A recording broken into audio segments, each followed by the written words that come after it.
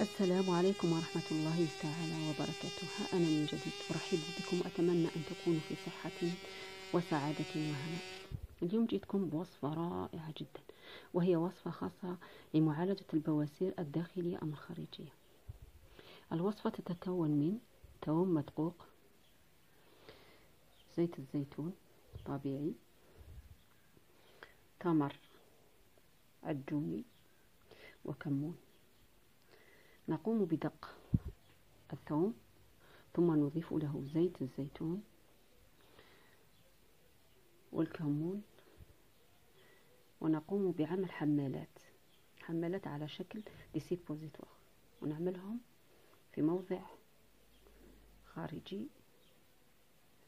وأتمنى لكم الصحة. وهذه الوصفة جدا جدا مجربة وأتت نتائج مبهرة للناس اللي يعانوا من البواسر.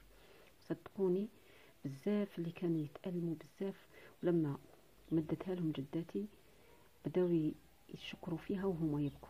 نتمنى لكم الصحة والعافية وأن تعم عليكم كل الأشياء الحلوة التي تتمنونها. شكرا لكم.